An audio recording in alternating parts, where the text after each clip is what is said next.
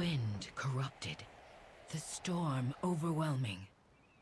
The sign of a betrayal.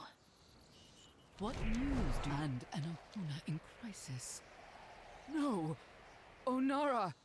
Could she be in danger? A message from Sansok Khan.